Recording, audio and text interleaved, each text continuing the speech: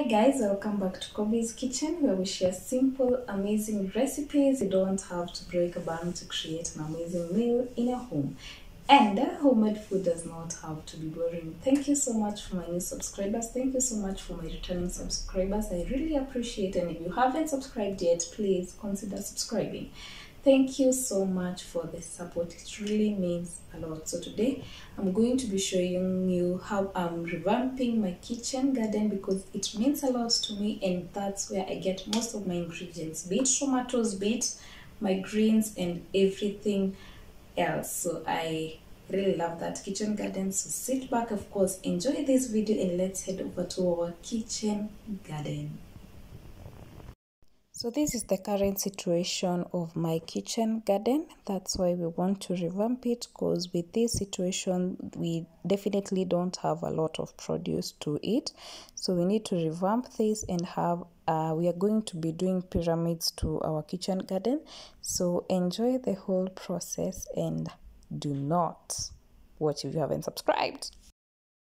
So at this point, I got some soil and manure uh, the red soil there and the manure on this other side. So what you're gonna do is just not me doing i have people doing it.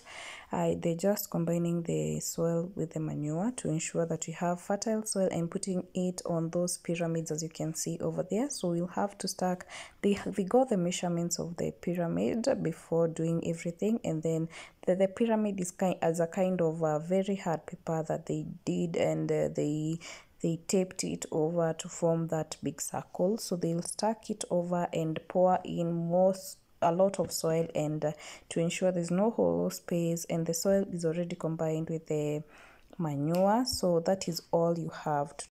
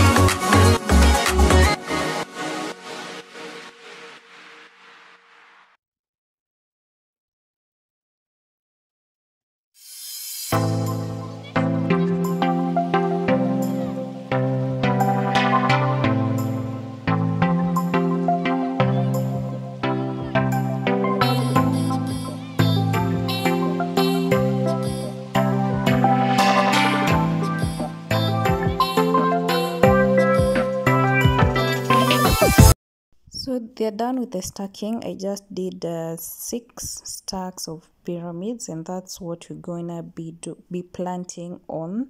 So that is the whole the, that that's it. That's it for the stacking of pyramids plus the manure plus the soil. You see how neat it is?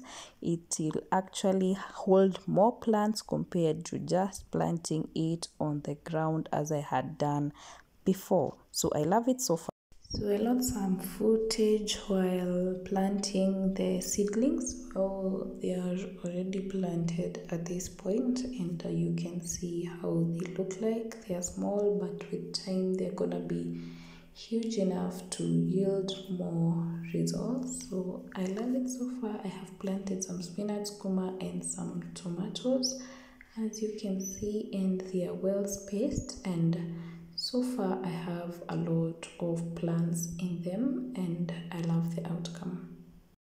Two weeks later, these are the results and we are really happy with it. And there are other sukumas that we added but so far so good. We can actually even harvest most of the spinach at this point just love it. All you need to do is just water your pyramids over and over, and uh, you'll be happy with the results. So, so far, so good, and maybe that's it for the pyramids. So this is it for the pyramids and for my produce. As you can see, we have lots, lots lots of big hohos and uh, the nyanyas. I love how they turned out. They are super nice and i i obviously am saving a lot. I don't have to go to the market to buy these products. I can just have to plant them at home and have these amazing amazing plants. So see you on our next one. Subscribe if you haven't. Bye bye Thank you.